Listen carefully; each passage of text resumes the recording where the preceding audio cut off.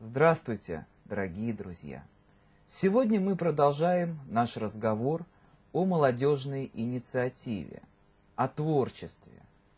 И вновь у нас в гостях руководитель молодежного киноклуба «Доброе кино» Татьяна Комарова. Здравствуй, Танюша. Здравствуй. Тань, вот сегодня, наверное, стоит нам поговорить более подробно о конкретных творческих делах, и я попрошу тебя рассказать о деятельности киноклуба «Доброе кино», киноклуба, у истоков которого стояла ты, который ты возглавляешь по сей день. Расскажи о том, как он создавался, несколько слов об истории его появления на свет.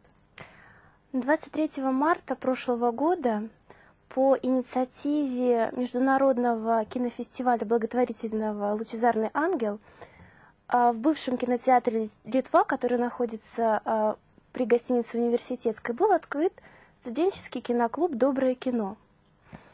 А, идея создания этого киноклуба возникла вследствие того, что на благотворительном кинофестивале – очень много показывали разных фильмов духовно-нравственного содержания. И киноклуб призван дублировать эти фильмы и э, бесплатно показывать для э, молодежи. То есть э, работали мы в прошлом году каждую неделю по воскресеньям, это воскресный киноклуб, куда приходит молодежь. В этом году мы также продолжили свою работу, но уже один раз в две недели. Какие фильмы удалось посмотреть за это время и были ли какие-то отклики от деятельности киноклуба? А, киноклуб уже работает целый год, и поэтому, конечно, мы успели посмотреть много фильмов, очень хороших, добрых и светлых фильмов. А, началось все с открытия. На открытии мы показывали кинофильм «Гибель империи. Византийский урок». Тот фильм, который вызвал массу откликов в обществе, очень много разных мнений и споров, и был интересен тем, что автор фильма проводит некую параллель с современной Россией. Именно поэтому мы решили, что начало киноклуба должно пройти именно э, с этим фильмом, именно после этого фильма. И поэтому э, было достаточно интересно. Мы пригласили э, знаменитых византологов. Было интересное обсуждение после киноклуба, поскольку у нас э, киноклуб работает так, что после просмотра фильма у нас обязательно состоится обсуждение. Также у нас в гостях был Александр Петров, обладатель Оскара. Э, мы показывали ряд его мультипликационных фильмов. Это и «Моя любовь», и «Русалка», э, и много других. Мы смотрели фильм, э, нашумевший фильм «Ярик». Также смотрели в этом году «Полиану», «Маленькую принцессу» Владимира Грамматикова. Делали подборку фильмов о детских непростых судьбах, но с хорошим концом, где дети, главные герои фильмов,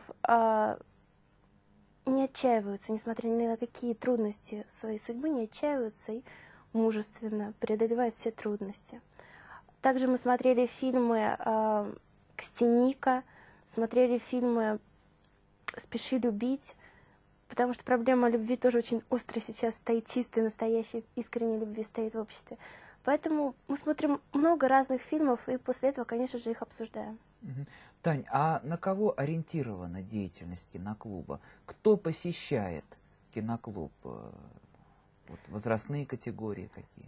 А, изначально киноклуб планировался как студенческая организация, куда будут приходить э, молодые люди, смотреть фильм, обсуждать, и потом а, мы предлагали ряд э, интересных затей. То есть, например, у нас были мастер-классы по историческому бальному танцу.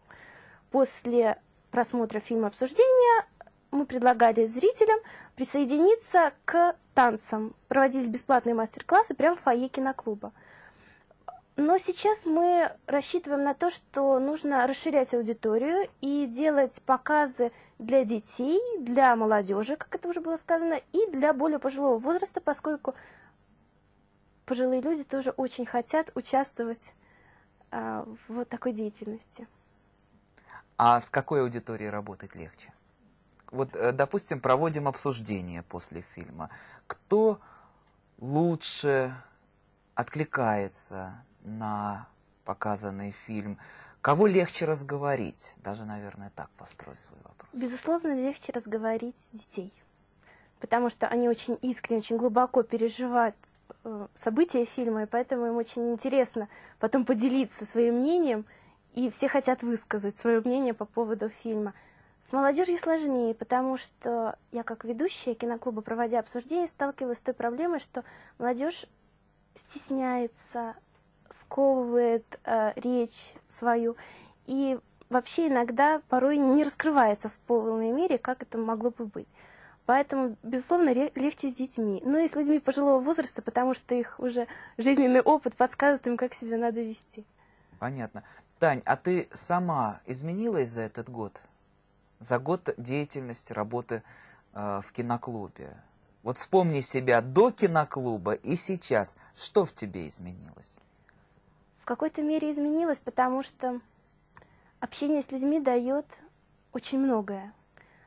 Все очень разные, к нам на показы, на некоторые показы приходило более 200 человек, бывали и камерные показы, но когда после показа к тебе подходят люди и начинают, ты понимаешь, как для них это важно, когда они начинают тебя благодарить и а, ты осознаешь, как это важно, конечно же, что-то в душе меняется, становится как-то легче жить. Я могу сказать, что за этот год мне стало намного легче жить, потому что я увидела людей, людей непростых, людей, которые хотят быть вместе, потому что киноклуб это такая организация, которая объединяет людей, и люди хотят быть вместе, это очень важно. Появилось много друзей? Появилось много друзей, и появилось очень много тех людей, которыми я дорожу очень сильно. Хорошо, спасибо. Тань, а как бы ты сама определила цель киноклуба, значение киноклуба, даже, наверное, лучше, и цель, и значение его в жизни современного общества? Я бы сказала, что целью киноклуба служит, во-первых, объединение людей, во-вторых, э, осмысление чего-то, потому что каждый фильм, он содержит очень э, много, которые фильмы, которые мы показываем, содержат очень много каких-то нравственных моментов, которые западают в душу. Целью можно назвать и творчество, совместное творчество, потому что сейчас мы пытаемся создать при киноклубе э, центр, целый центр, когда бы молодежь в свободный день приходила и занималась тем, что интересно молодежи. Например, теми же самыми танцами, открыть кружок э, поэзии, литературной студии. Э, киноклуб позволяет это все реализовать, воплотить в жизнь. То есть приходят туда люди и становятся частью, частью этого большого общества, общества кинолюбителей. Разочарований не было за этот год? Наверное, нет, потому что потому что все было так, как должно было быть. Любое разочарование можно воплотить во благо. И когда какие-то люди, ненужные люди отсеивались в процессе работы, я думаю, что это только сейчас на пользу. И будем надеяться, что так и будет впредь. Таня, твое пожелание нашим телезрителям? Будьте счастливы творите, и будьте счастливы светите и людям, потому что свет, который может подарить улыбка, может, могут подарить глаза простой будничный серый день, она очень дорогого стоит. И вновь мы приходим к нашему девизу. Молодость должна творить. Совершенно верно. Спасибо. Спасибо. Мы прощаемся с Таней Комаровой. Надеемся, что она еще не раз придет к нам в студию. Ну, а у нас впереди, дорогие друзья, встреча с еще одним очень интересным гостем, человеком, который тесно связан со студенческой инициативой, с развитием студенческой молодежной инициативы. Сейчас у нас студи... к нам в студию придет Дмитрий Николаевич Ващенко, преподаватель, преподаватель Государственного института русского языка имени Пушкина, кандидат филологических наук – заместитель декана филологического факультета по воспитательной работе. Здравствуйте, Дмитрий Николаевич, рад приветствовать вас в нашей студии. И первый вопрос. Вот какие инициативы, студенческие, молодежные инициативы удается формировать и успешно, надеюсь, реализовывать в Институте русского языка? Ну, начать, наверное, следует э, не с инициатив, а с того, кто их организовывает.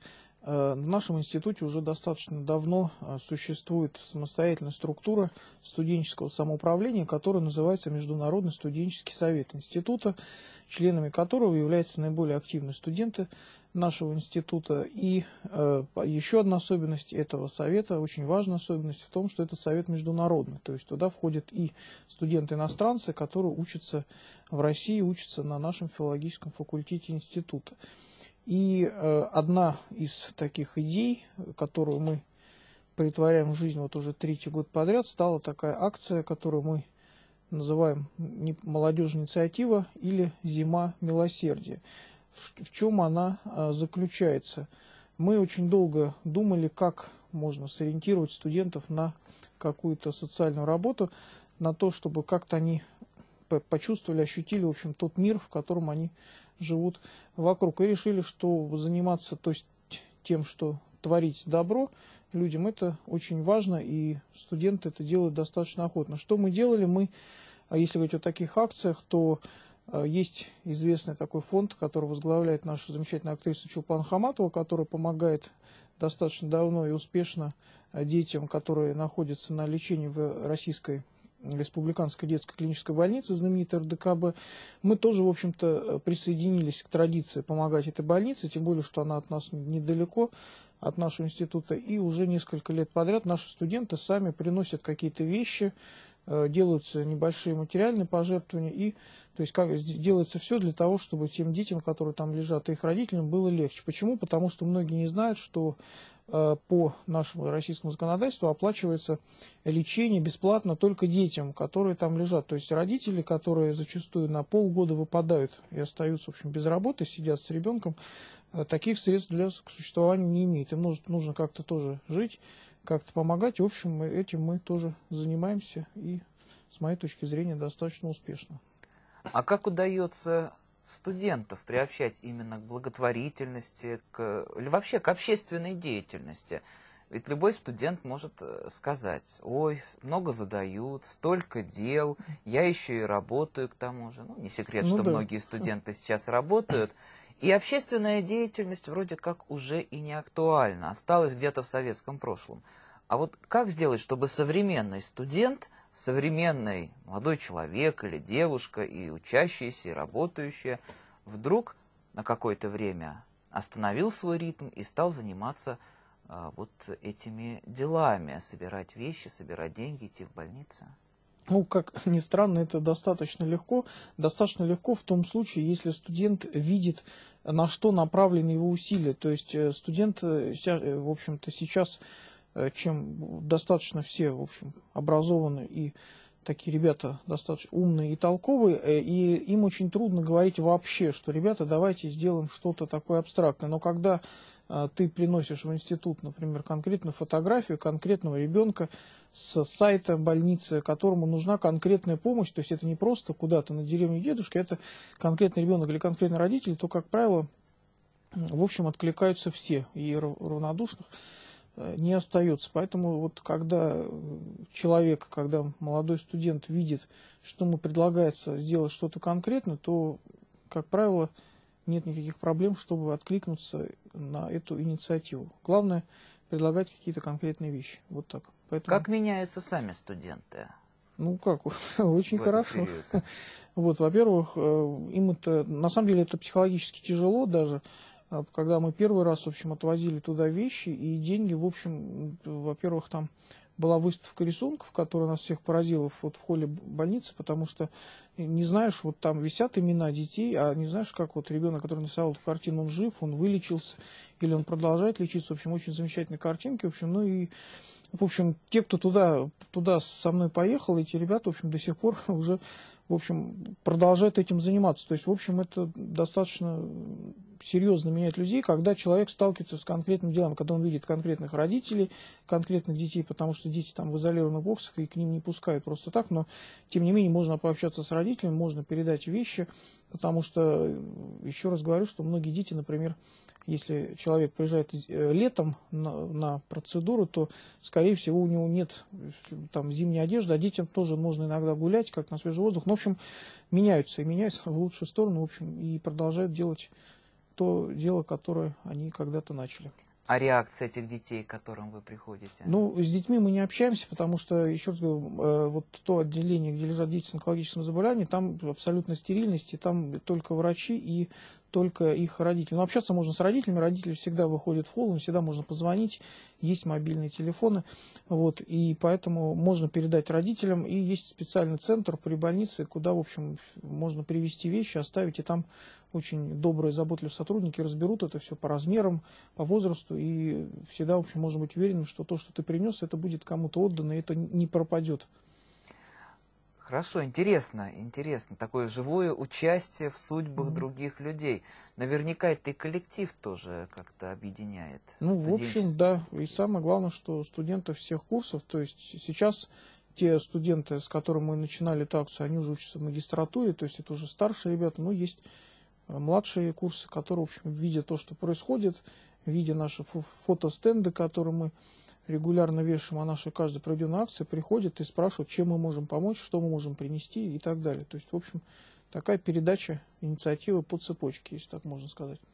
Какие еще виды деятельности проходят на факультете? Ну, еще из того, что, чем мы можем, так сказать, отметить, э, отметиться чем-то, это э, всевозможное участие наших студентов в различных таких творческих вечерах, э, которые организуются, скажем, для ветеранов э, войны. Сейчас идет э, из, из, известная историческая дата, будет 65 лет битвы под Москвой, и вот в феврале буквально у нас проходил конкурс песни военных лет, который назывался «Гвоздика», где выступают и студенты нашего института, и представители ветеранских организаций, школьники нашего района, э, где расположен институт. То есть, в общем, практически вся молодежь района в этом как-то задействована. И э, зрители это обычные люди, это и ветераны, и пенсионеры, и родители тех школьников, которые выступают, тоже, в общем, хороший такой опыт такого позитивного обмена добром. Мы выступаем, поем песни, не только мы, но и студенты других институтов, РУДН, там наши соседи,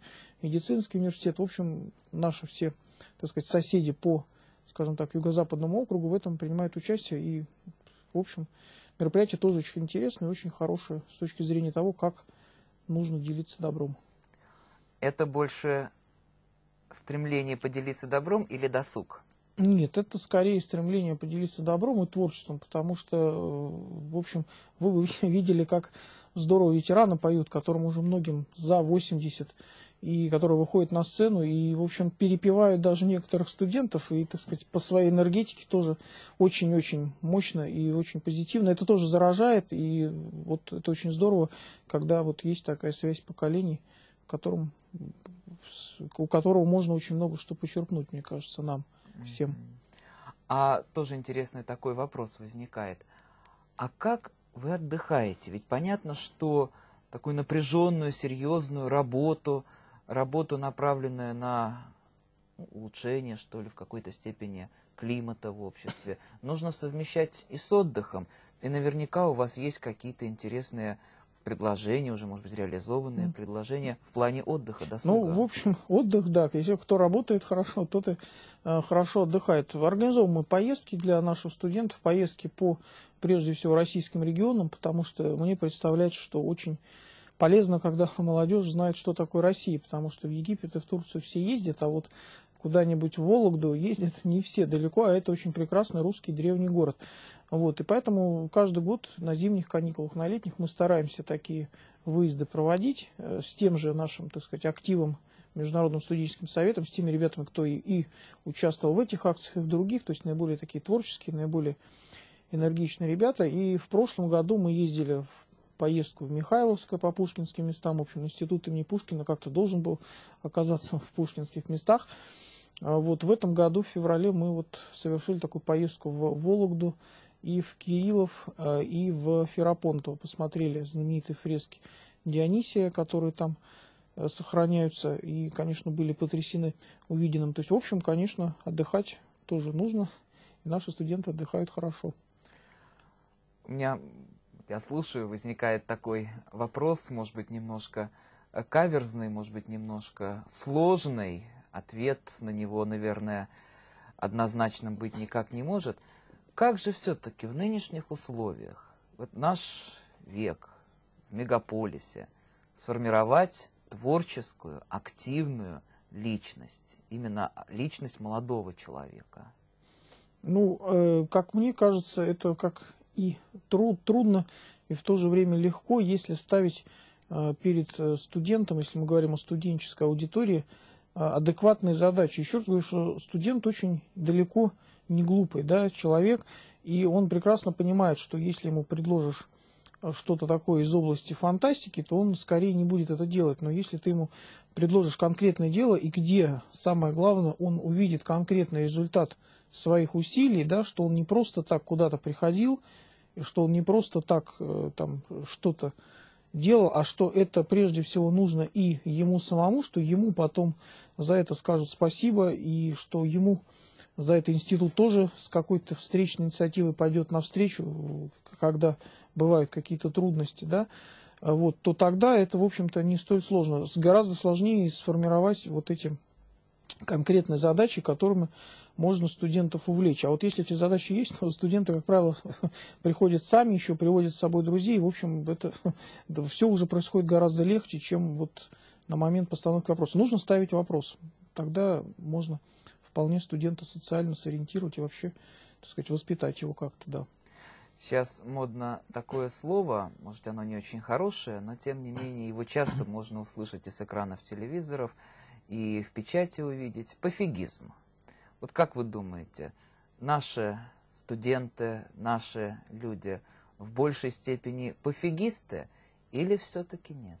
Ну, это вообще такой вопрос, он так, из области такой философии. У нас все время так в России, видимо, наша такая ментальность, что у нас каждое поколение смотрит на следующее с таким ужасом и говорит, боже мой, как Лермонтов говорил, там, да, печально я гляжу на наше поколение. Вот у нас каждое поколение почему-то с печалью глядит на тех, кто идет следом за ними. Хотя на самом деле там нет ничего печального, все, естественно, бывает, люди все разные, но э, с моей точки зрения у нас очень хорошая, нормальная молодежь, которая, еще раз говорю, что если им предложить что-то, от которого сам человек э, увидит, что это нужно для него, то все это будет гораздо лучше, не будет никаких разговоров по поводу того, что, ах, мы в ваши годы там, и так далее, и так далее. Такая аргументация, которую мне когда-то и мои родители тоже говорили, а потом вроде ничего, сейчас общаемся, и никто не говорит, что как-то мы в ваши годы. Вот, поэтому с этой точки зрения нет. У нас очень хорошая молодежь, и я, так сказать, не вижу таких оснований для того, чтобы говорить, что все очень плохо. Как говорят, да, на те тоже везде там СМИ, что все очень запущено. Далеко не запущено, нормально. Трудно совмещать учебную работу, научную деятельность. Так или иначе нам, преподавателям, нужно писать и статьи, и учебники, и пособия. И плюс еще а, вот эту вот, э, ну, даже язык не поворачивается сказать административную работу, mm. хотя, по сути, это административная работа, общественную работу. Ну, в общем, конечно, не без трудностей, все бывает, но, в общем, э, если очертить себе круг задач, с которыми ты можешь справиться, и, опять же, не пытаться, так сказать, поймать всех зайцев сразу, то, в общем-то, получается все на самом деле организовать. Поэтому стараемся, работаем, в общем, студентам нравится, поэтому думаю, что не так страшно, как это выглядит все на первый взгляд. Ну, конечно, есть два типа администратора, наверное. Один – это человек, который отгораживается от студентов за высокими дверями кабинетов, за секретарские головы пытается себя как-то спрятать, и не дай бог кто-то лишний раз постучится или войдет. А другой тип, наверное, это тот тип, когда человек берет гитару вместе со студентами идет в турпоход, везет их на экскурсии и, в общем-то, как-то старается и студентов приобщить к чему-то высокому, светлому, и сам, наверное, много получает ну, от а, этого. А, это же процесс такого взаимного, так сказать, обмена энергетикой, опытом и так далее. Вот. И мой такой принцип работы, который для меня является основополагающим, я всегда считаю, что студент – это не сосуд, который нужно заполнить, как говорят, это факел, который нужно зажечь. Если ты даешь человеку импульс, если он зажигается, то потом уже можно, в общем-то, не то, что ничего не делать, а просто уже смотреть, что происходит, и контролировать процесс горения, так скажем. Поэтому вот самое главное – это зажечь человека, а дальше уже все идет гораздо легче и интереснее. И для студента, и для меня тоже. Спасибо, Дмитрий Николаевич, спасибо. за очень интересный разговор у нас получился. Что ж, на этой ноте, радостной, оптимистичной, мы заканчиваем нашу передачу. До новых встреч, дорогие друзья!